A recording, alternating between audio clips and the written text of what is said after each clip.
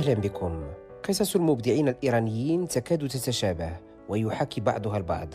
أغلبهم يتحدثون عن القمع وعن تصوير سري لأفلام تعثر عليها فيما بعد في مسابقات مهرجانات الدرجة الأولى. جعفر باناي وبامان غوبادي أو محمد راسولوف المتواجد حاليا في مهرجان مراكش السينمائي الدولي. هم يتحدثون في كل مرة عن القمع وعن التضييق والسجن. وهؤلاء وغيرهم مبدعون حقيقيون. في كل مرة أشاهد أشرطتهم وهي بالمناسبة أعمال بمستوى فني كبير وبأسلوب متفرد لن تعثر له على مثيل.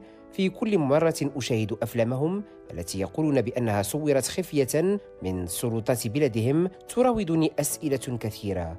كيف يمكنهم فعلا أن يصنعوا أفلاما عالمية ويدير ممثليهم عن بعد ويقدم تحفا دون أن تتفطن لهم أجهزة الرقابة في بلد يراقب فيه كل شيء. حين تطرح عليهم هذا السؤال يجيبون بطريقتهم الخاصة ويقولون بأنهم يتعاملون مع الوضع بحسب المتاح من إمكانات وهذا الجواب لم يقنعني يوما.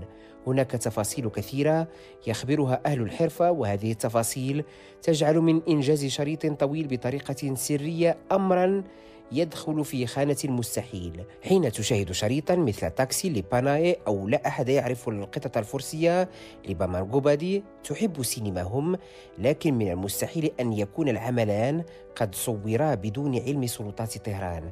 لست هنا بصدد التشكيك في مصداقية ما ينقل لنا من أخبار في كل مرة لكني أطرح فقط سؤالا مهما يخص عملا إبداعيا مكتملا. في إيران يقول أغلب المخرجين بأنهم يتحايلون على القانون وبأنهم يخبرون السلطات في كل مرة بأنهم يصورون أشرطة قصيرة لا يتطلب إنجازها كثيرا من تراخيص وفيما بعد يصورون بسرعة أشرطة طويلة. هل يمكن أن تقنعني هذه الصيغة أيضا؟ ابدا.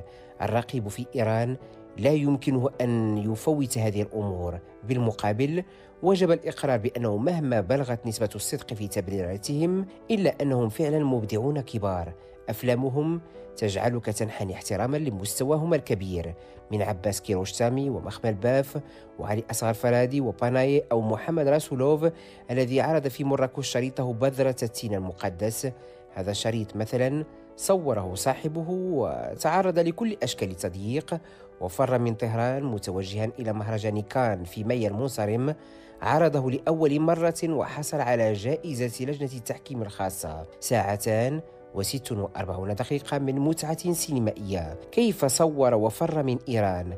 هي تفاصيل لا أعيرها كثيرا من اهتمام ولا أركز كثيرا فيها ومعها. أما حصول شريطه على جائزة عالمية في كان وقبل كان في برلين فهي بالمقابل مستحقة. سينماهم قوية لكن بقية التفاصيل تثير في نفس الريبة. أتركها جانبا. أصلا تصرفات كثيرة. صارت تثير في نفس الريبة لكني قريبا لن أعيرها أدنى اهتمام والسلام. لكم تحياتي من مراكش إلى الملتقى.